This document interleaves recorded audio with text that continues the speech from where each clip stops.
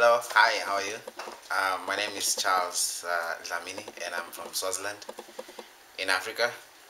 I'm grateful for this opportunity to share my uh, testimony of the Book of Mormon. I'm grateful for uh, the Book of Mormon in my life. I wouldn't imagine my life without it and I'm grateful for the fact that I know that Heavenly Father loves His children so much that He can prepare something that is so very valuable to them. I'm grateful for the teachings that I got from the Book of Mormon back from the life that I was living and the life that I'm living now, I'm grateful that I, I took the challenge to read the Book of Mormon and I'm grateful for the things that I've seen, the results of my uh, reading. And I say all this in the name of Jesus Christ. Amen.